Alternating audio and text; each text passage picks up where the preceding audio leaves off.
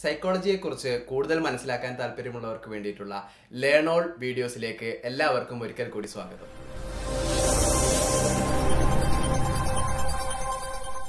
നമ്മുടെ ഏതെങ്കിലും ഒരു സുഹൃത്തിനെയോ നമുക്ക് പരിചയമുള്ള ഏതെങ്കിലും ഒരു വ്യക്തിയെയോ ഡിസ്ക്രൈബ് ചെയ്യാൻ വേണ്ടി പറഞ്ഞാൽ നമ്മുടെ മനസ്സിലേക്ക് വരുന്ന ചില വാക്കുകളില്ലേ?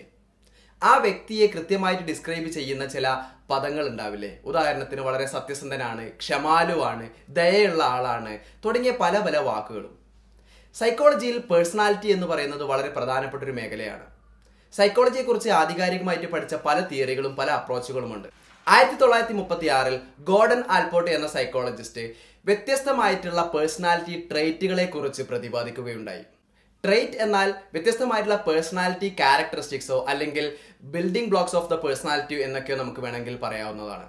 ആൽപോർട്ടിന്റെ ഗവേഷണത്തിൽ ഏകദേശം നാലായിരത്തി അഞ്ഞൂറോളം വാക്കുകൾ ഒരു ഇംഗ്ലീഷ് ഡിക്ഷണറിയിൽ ഒരു വ്യത്യസ്തമായിട്ടുള്ള പേഴ്സണാലിറ്റി ട്രേറ്റുകളെ പറ്റി പറയുന്നുണ്ട് എന്ന് അദ്ദേഹം മനസ്സിലാക്കി.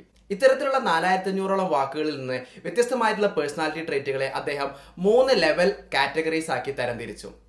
ഈ മൂന്ന് ലെവൽസ് ഓഫ് കാറ്റഗറീസ് ആണ് അദ്ദേഹത്തിന്റെ ട്രേറ്റ് തിയറി ഓഫ് പേഴ്സണാലിറ്റി എന്നറിയപ്പെടുന്നത്.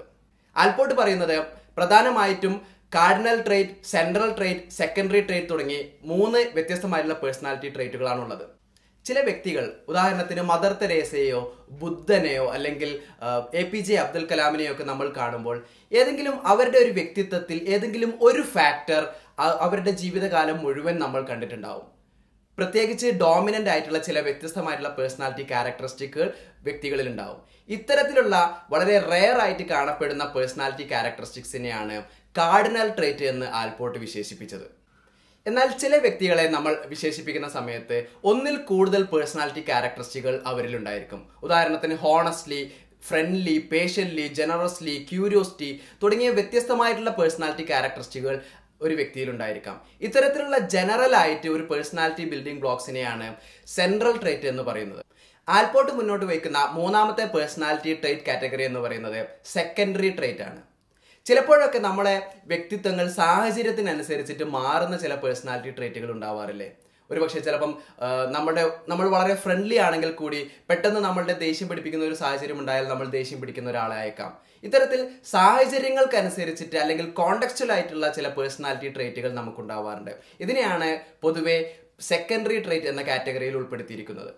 പേഴ്സണാലിറ്റിയെ കുറിച്ച് തന്റെതായ രീതിയിലുള്ള പഠനങ്ങൾക്ക് തുടക്കം കുറിച്ചിട്ടുള്ള ഗോർഡൻ ആൽപോർട്ട് പറയുന്നത് ഓരോ വ്യക്തികൾക്കും അവരുടെ പേഴ്സണാലിറ്റി അല്ലെങ്കിൽ ബിഹേവിയർ രൂപപ്പെടുന്നതിൽ പലപ്പോഴും ഇന്റേണലും എക്സ്റ്റേണലുമായിട്ടുള്ള പല ഫാക്ടേഴ്സും സ്വാധീനം ചെലുത്താറുണ്ട്. ജീനോ ടൈപ്പ് ഫീനോ ടൈപ്പ് തുടങ്ങിയ പേരുകളിലാണ് അദ്ദേഹം അതിനെ വിശേഷിപ്പിച്ചിട്ടുള്ളത്. ഓരോ വ്യക്തികളെയും വ്യത്യസ്തരാക്കുന്ന ഓരോ ആളുകളെയും അവരവരാക്കുന്ന പേഴ്സണാലിറ്റി ട്രേറ്റുകളെ കുറിച്ചുള്ള തിയറികൾ ഇവിടെ അവസാനിക്കുന്നില്ല.